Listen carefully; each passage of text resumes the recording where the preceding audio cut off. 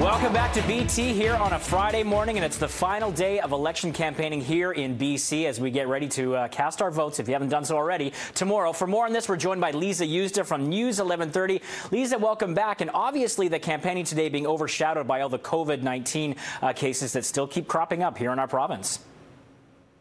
Yeah, it's pretty stunning what we saw yesterday. I, I told a friend what the numbers were, who's also in our business, so she's used to seeing this. And she said she actually felt nauseous when she heard it. We had 274 cases yesterday, new cases we saw that was the fourth day in a week that we'd broken a record for how many cases we'd seen here. We are nearly at the peak of how many people are active cases. 1987 on September 21st was the highest number. Now we're at around 1920. So it's a big problem. And Dr. Bonnie Henry telling us you know, there's a lot of focus on schools, and we just had the first school outbreak, but the challenge they're really seeing is weddings and funerals.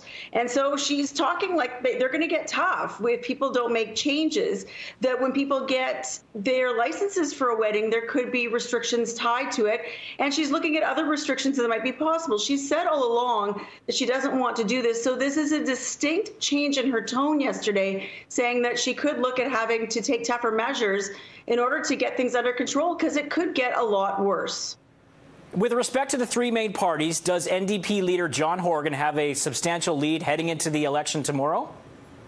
It's looking pretty good for him. There are some recent polls out today that show that he is holding steady. Some people wondering if what's happening in schools and seeing a lot of school cases was going to make a difference. He has been holding very steady, so it's looking good. And for those of us who report on it and those who watch it closely the night of, I'm hoping this means that one way or another we're going to know because there are, of course, you know, more than half the votes that are cast in an election in BC generally have already been cast. And about a third of those, well, more than a third of those are votes that are mail in ballots. And those ballots can't be counted the night of. They take a process, and we're going to hear from Elections BC a bit more about that process because there are about 360,000 ballots that have been returned so far. They expect a lot more. 724,000 went out. So we'll see how long it takes to count those. Last election, just for reference, 6,500 ballots were counted in the two weeks after the election of mail in ballots.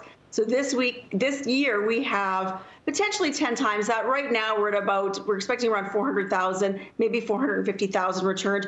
So it could take more than two weeks to count that because they just are not used to that. But we'll hear about what that process is going to look like this year. Right. You've been following this exhaustively for the months leading up to, uh, well, we didn't know about the election uh, that far back, but you've obviously been covering the, uh, the politics and everything that goes on in Victoria. Uh, in the last couple of weeks with the BC Liberal Party, it seems like they've had, uh, you know, a lot of stumbles along the way. Uh, what ultimately was the problem with Andrew Wilkinson and the uh, Liberal Party in their campaign? What was the problem? Well, that, that's the million dollar question, probably, Thor.